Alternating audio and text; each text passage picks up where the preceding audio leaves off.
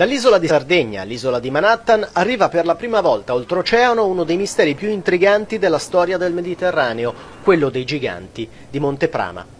Il pugilatore, in sardo Manneddu, cioè quello grande, 1,92 m per 300 kg, scolpito tra il 900 e il 750 a.C. in un unico blocco di calcare e ritrovato nella Sardegna centro-occidentale negli anni 70 insieme a decine di altre sculture di epoca nuragica, fa da oggi bella mostra di sé in una delle sale principali del Metropolitan Museum di New York, in prestito dalla Fondazione Monteprama in collaborazione con la Regione Sardegna e il Ministero per i Beni Culturali.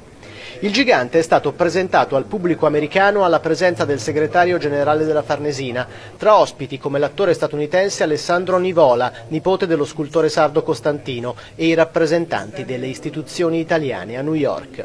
La civiltà nuragica è, rappresenta la storia più antica del Mediterraneo occidentale e soprattutto raccontando la civiltà nuragica si può raccontare quel tempo non solo in Sardegna ma in una riedizione della storia del Mediterraneo allargato che è molto interessante.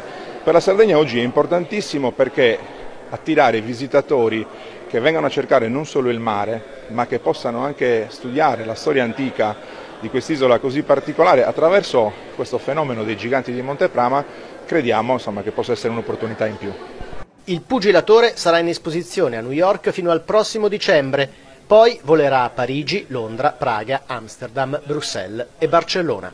Marco Congiu, Sky TG24 New York.